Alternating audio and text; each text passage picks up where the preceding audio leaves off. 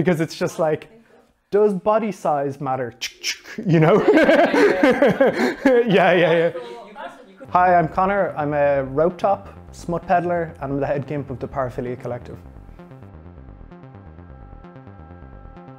I've been in the kink scene for five years, and a little rope studio called Anatomy popped up on FetLife.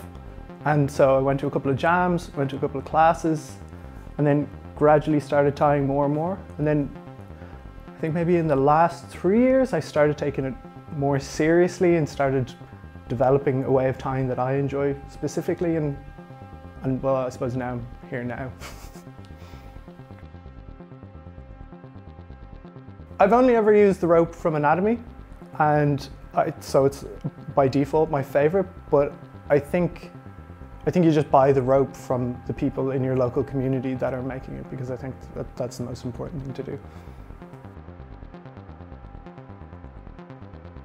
Um,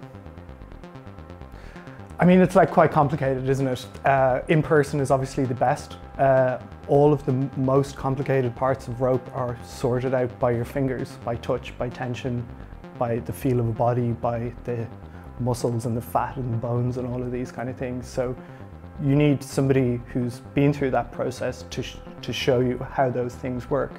And then video resources are a thing that help you build upon those initial building blocks. Uh, well, you're not buying one, so you don't necessarily find one. You should probably find a partner who you enjoy spending time with because the best rope ties are from people that you've tied with many, many times before. So I think there's this idea that like you can come into a space and say, oh, I want this experience. Who's the best person that can give it to me? But that's not the way it works. If you want to, if you really want to learn rope and have an amazing experience, you should build a relationship with a person who's either willing to learn or who's in the process of learning and then you develop together. And so all of my best development as a rope top at least has come learning with people consistently over the span of a year or two years or three years or whatever. Yes, body size absolutely matters.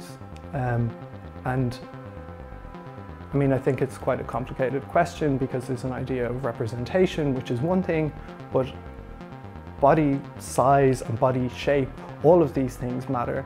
And as a rope top, at least, the most important thing is to learn how to tie with these different body types. Um, it's, it's, yeah, it's super complicated because, you know, somebody could be, no one knows how flexible they are when their arms are behind their back, or nobody knows how flexible or strong they are when their legs are open or their back is bent or, or any of these things. And you only learn how to tie these different compositions of bodies through practice.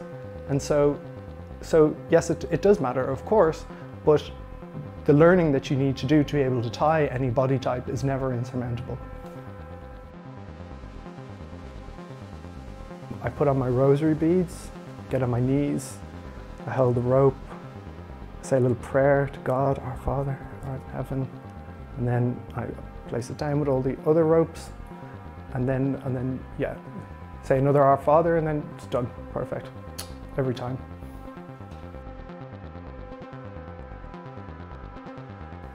Yeah, I think the like maybe the, the best rule through kink all the way is always expect your partner to faint.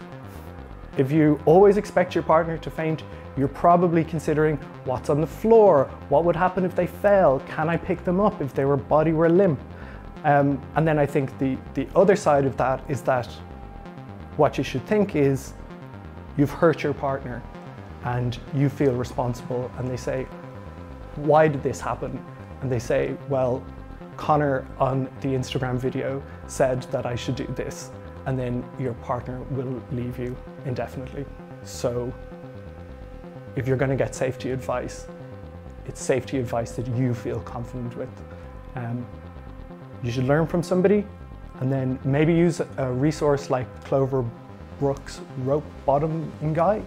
Clover Brooks Rope Bottoming Guide, which is a great backup reference to have all the time.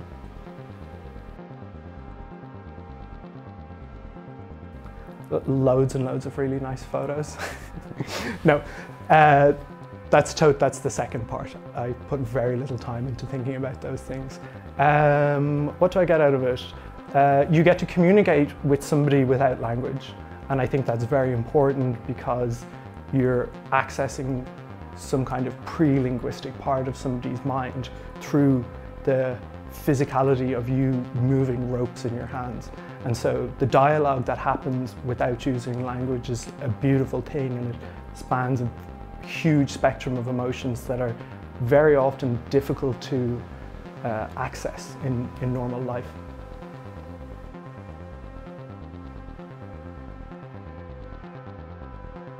Well, I mean, like, I think that one of the things that I like the most, and I think the most indicative thing of somebody's mental state is what their toes are doing.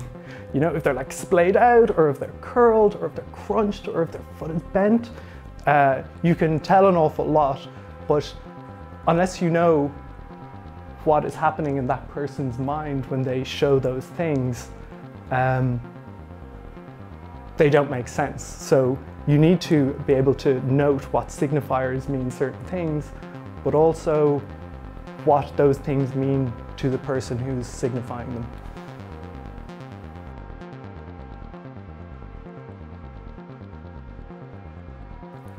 Um, well, I don't know. It isn't always important. Uh, it's it's not a it's not a definite thing, but for me at least, the the aftercare isn't the hour after. It's, it's very often the following day or the day after that. Is that like you've you've come into this very strong emotional space, and who the person who you've tied could feel a sense of sadness or a sense of regret or a sense of fear or all of these like i mean it's a drop ultimately you know and i think the important thing is is that like you're there supporting them whenever that drop happens so it might be the 10 minutes after they've come down or it could be the following day or it could be two days later who knows and i think that's a really important thing that the tie stops when both people feel like it's stopped and the time span that that could happen in is, well, who knows really, ultimately. It could be a long time, but it's definitely not going to be in that one day or that one evening.